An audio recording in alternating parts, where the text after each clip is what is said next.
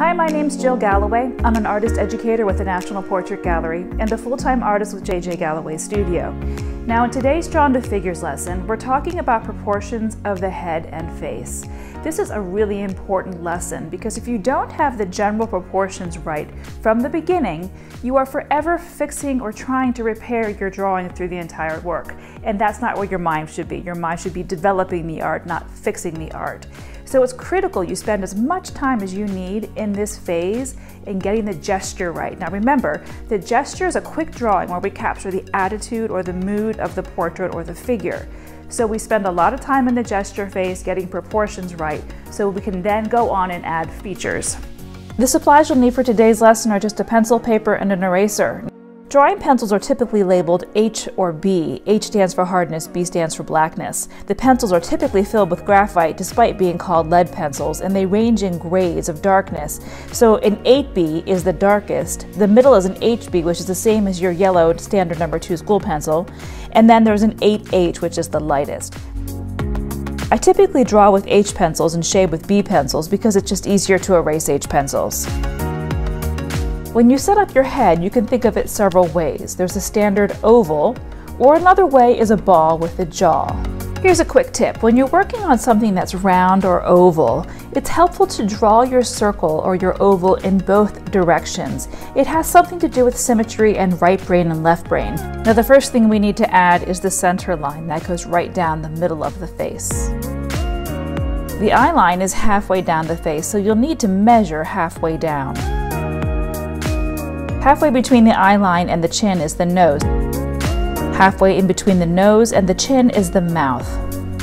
Now let's put this to the test with Jeff Bezos' portrait done by Robert McCurdy. By the way, this is an oil painting in the photorealism style, which means it's a painting that looks like a photograph. We've got the headline, we've got the chin line, and we have halfway up the eye line.